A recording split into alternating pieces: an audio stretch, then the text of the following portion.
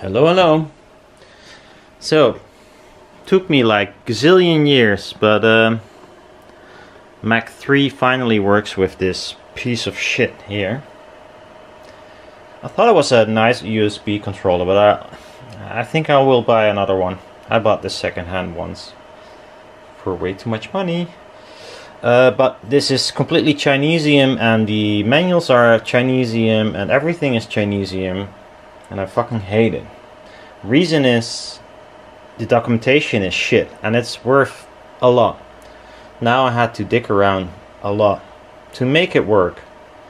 Now there's one problem. Um, this driver seems to hold a a holding torque on the motor permanently.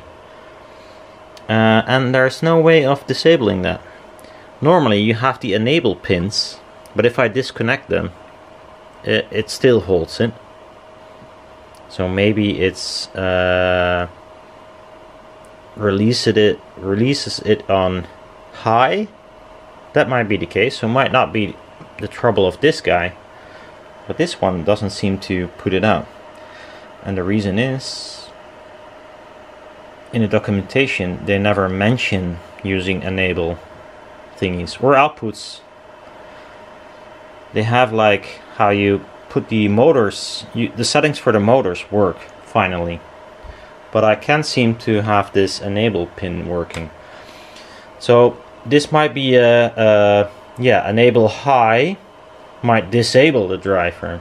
So if I unplug this the driver still holds its torque instead of uh, losing up. I could check that by giving this two pins 5 volt and see if that does anything.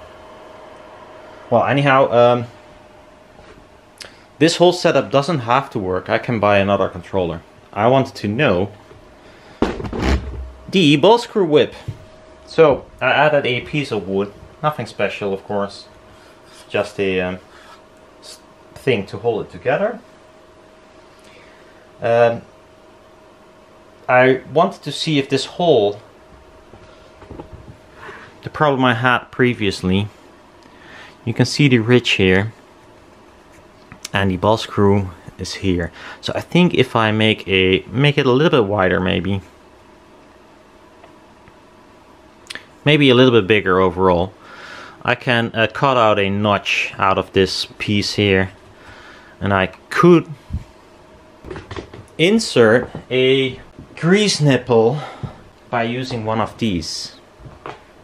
These. So screw in the grease nipple nipple grease the thing up remove the nipple. Not even sure if I have to you know put something in there to hold the grease in there. I don't think I have to. Uh, and then it should work. So uh, I think it might work. I have to cut a piece out of this aluminium to see if it really lines up before I build the rest. So I'll make a cut in one of these pieces and see if I can attach a nipple to the ball screw. So far, that looks good. Uh, was not my idea, by the way. Well, this was kind of my idea, except for you can remove the nipple. That part I missed. There were two or three people mentioning that in the previous video. Maybe you can like remove the nipple and then it might work. So thank you. A lot of uh, interesting replies by the way.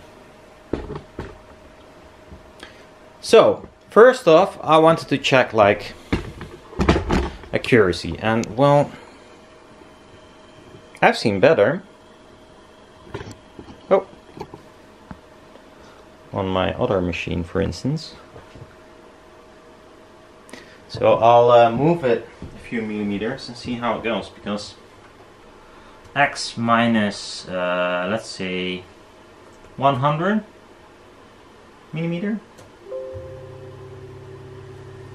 Ah, fuck. That's gonna take ages. it's very slow. Okay, so I'll, I'll change the feed rate, so it's uh, F200 I believe right now, yes. Let's make it 500. F500. Uh, X, it's not the X-axis, but that's where the motor is working on right now, X0.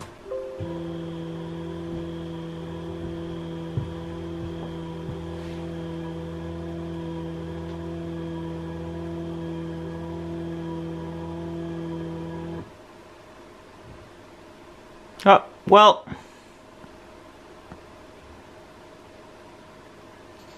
It's not bad. There you go. Quite doable, it's on zero again. So, well, that's one thing. Now, the biggest problem of it all. I tested this only to be sure it does indeed move this amount of millimeters. It says it should. Okay, so something really weird is happening. So um, it says here feed rate is uh, let's see.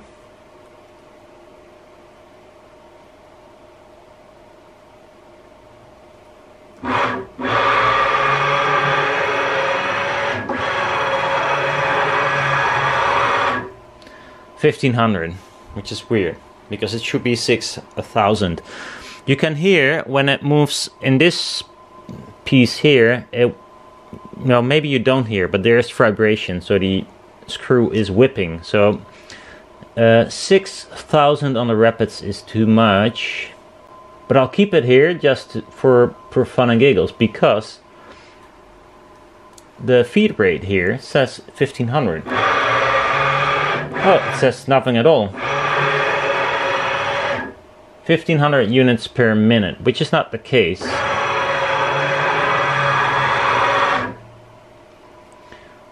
Uh, and we're gonna check that because, well, it's kind of weird. Normally this is correct. So what we're gonna do, and it's really low tech, we're gonna say uh, move one meter and I'm gonna start a, oh, timer here. Most professional method of doing this. But I just want to be clear. Uh, Mach 3 is fucking up.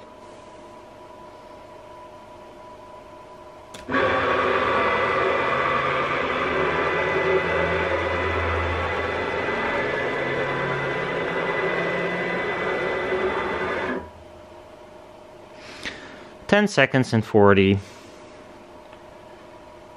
10.4 yeah that is 6000 millimeters a minute. So yeah i don't know what mach 3 is uh, thinking here but uh, it's most most certainly is not correct.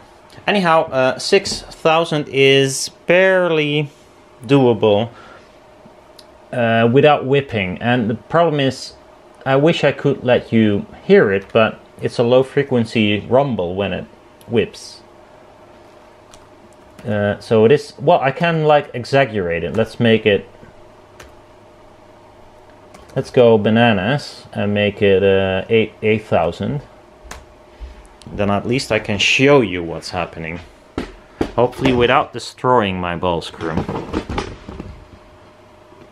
So here we have the ball, ball screw.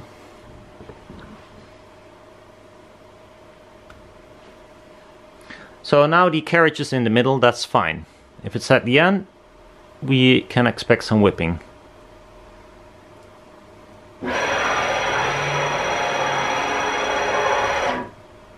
Did you see it?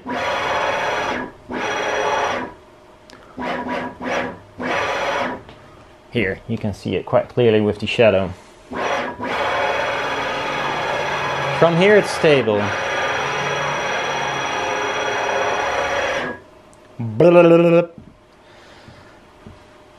So although it still sounds nice, it's just the length of the bell, ball screw is nah, not doing it for this kind of speed.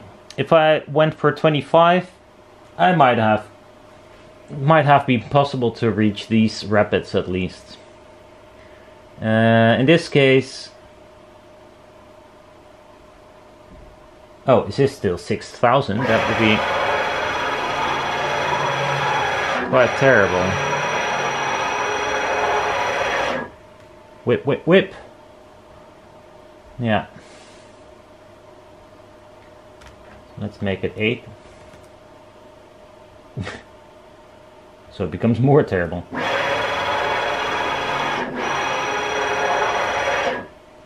Everything is wiggling. So even thick uh, 6000 is not nice. One thing I could try, uh, that might be a way too much effort, but what you can do is this is a uh, support bearing, so it's not an it cannot take thrust on this direction. What you can do is make or get another of these more expensive bearings that can, and then pull on this. And that sounds ridiculous, but I thought about maybe with some springs and such you can get that wobble maybe a little bit down at these higher speeds. But I can imagine you have to pull really hard uh, after a while. So I'm not sure if it's feasible or even, you know, sane to do that.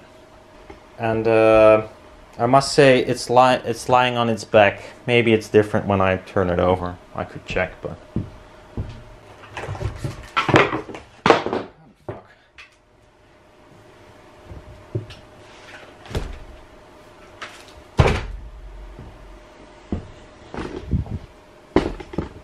because this is the way it will be standing.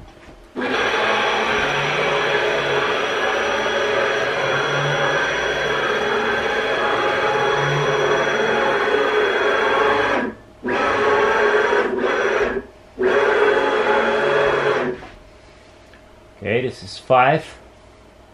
This is six.